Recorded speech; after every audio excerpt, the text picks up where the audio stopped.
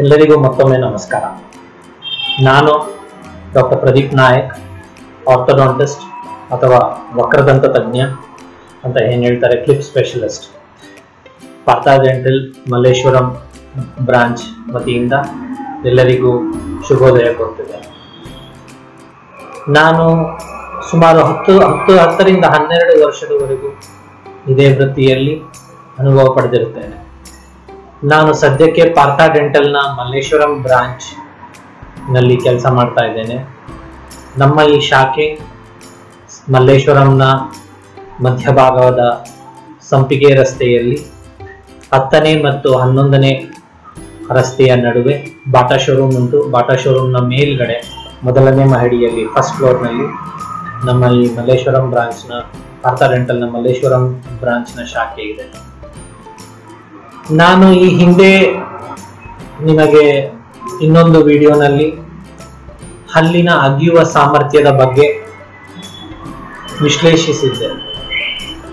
ಅದರಲ್ಲಿ ಹಲ್ಲಿನ ಅಗಿಯುವ ಸಾಮರ್ಥ್ಯ ಅಂದರೆ ಏನು? ಅದರ ಕಾರಣಗಳೇನು? ಅದನ್ನು ಹೇಗೆ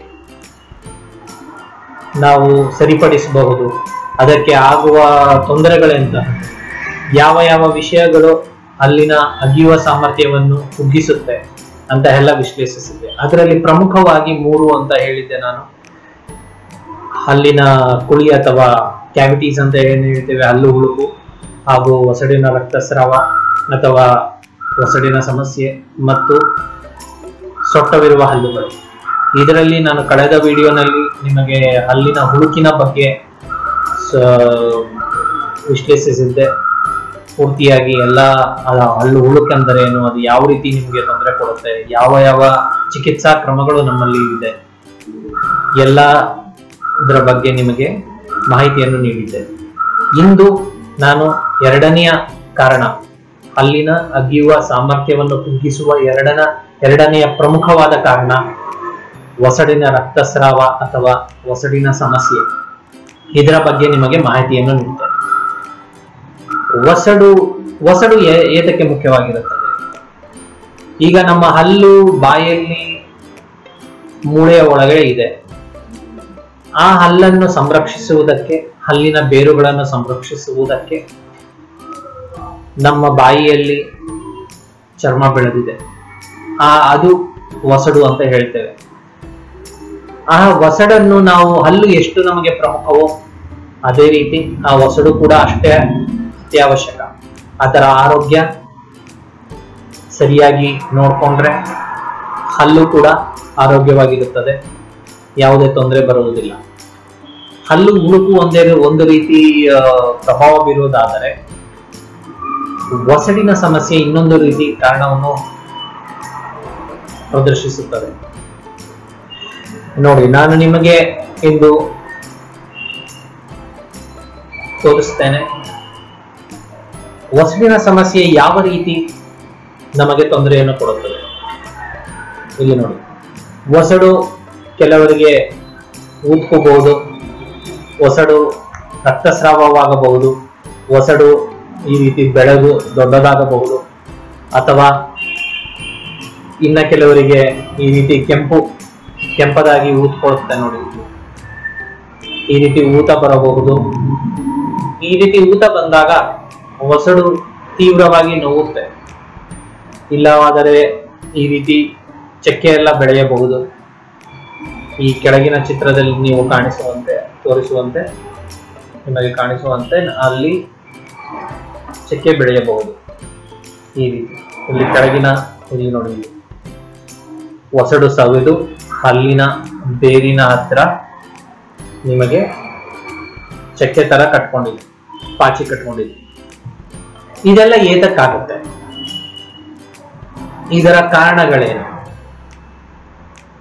ಒಸಡು ಒಸಡಿನ ಹೈಟ್ ಅಂತ ಎತ್ತರ ಏನು ಹೇಳ್ತೇವೆ? ನಾವು ಅದು ಒಸಡು ಒಂದು ಲೆವೆಲ್ ವರೆಗೂ ಹಲ್ಲನ್ನು ಸುರಕ್ಷಿತವಾಗಿ ಕವಚದ ತರ ಆವತಿಕೊಂಡಿರುತ್ತದೆ ಅದು, ಅದನ್ನು ನಾವು ಇವಾಗ ಒಸಡು ಏತಕ್ಕೆ ಕೆಳಗೆ ಬರುತ್ತದೆ ಅಂದ್ರೆ ಸರಿಯಾಗಿ ಬ್ರಷ್ ಮಾಡದೇ ಇರುವ ಕಾರಣ ಕ್ರಿಮಿಕೀಟಗಳು ಅಲ್ಲಿ ವಾಸವಾಗಿದ್ದು, ಅದು ಒಸಡನ್ನು, ಒಸಡಿನ ಸುತ್ತ, ಒಸಡನ್ನು ವೀಕ್ಗೊಳಿಸುತ್ತದೆ, ಒಸಡಿನ ಶಕ್ತಿಯನ್ನು ಕುಗ್ಗಿಸುತ್ತದೆ.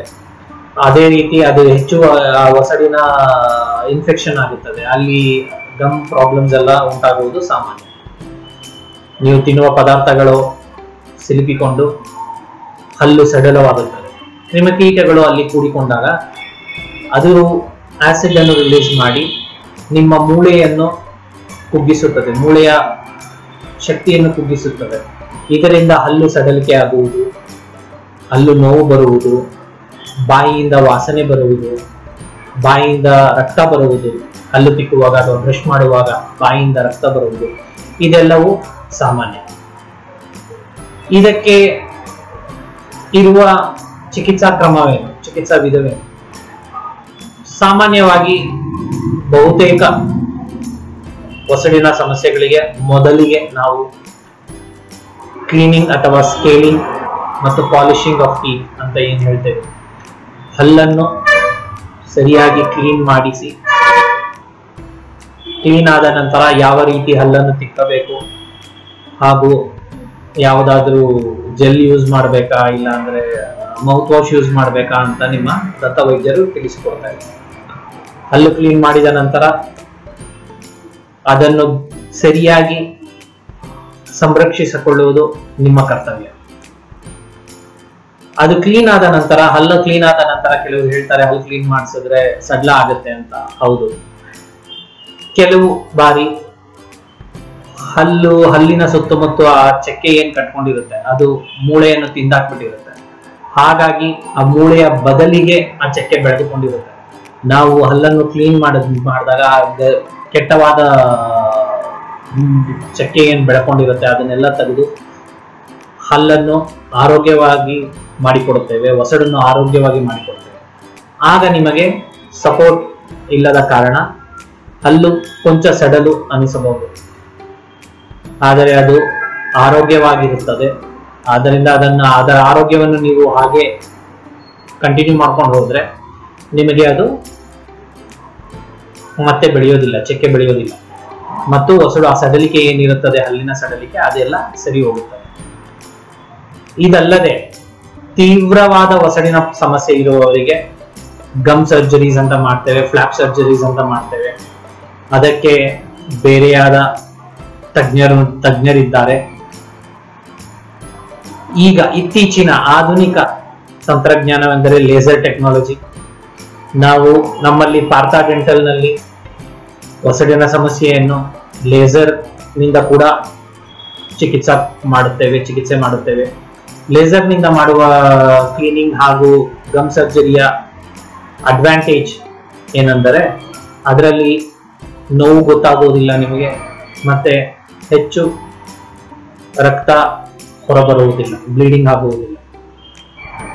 ಸೊ ಈಗ ನಾನು ಹೇಳಿದ ರೀತಿ ನಿಮಗೆ ಒಸಡಿನ ಸಮಸ್ಯೆ ಯಾವ ರೀತಿ ಹಲ್ಲಿನ ಅಗಿಯುವ ಸಾಮರ್ಥ್ಯವನ್ನು ಕುಗ್ಗಿಸುತ್ತೆ ಅನ್ನೋದು ನಿಮಗೆ ತಿಳಿಸ್ಕೊಟ್ಟೆ. ಅದಕ್ಕೆ ಇರುವ ವಿವಿಧವಾದ ಚಿಕಿತ್ಸಾ ಕ್ರಮಗಳನ್ನು ನಿಮಗೆ ತಿಳಿಸ್ಕೊಟ್ಟಿದ್ದೆ.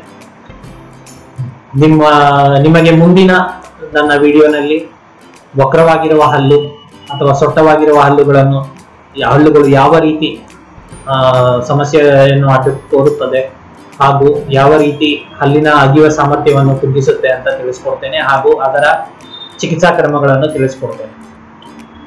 ಮತ್ತೆ ನಿಮ್ಮಲ್ಲಿ ಕೋರುವುದೇನೆಂದರೆ ನೀವು ಈ ವಿಡಿಯೋಗಳನ್ನೆಲ್ಲ ನೋಡಿ ದಯವಿಟ್ಟು ನಿಮ್ಮ ಹತ್ತಿರದ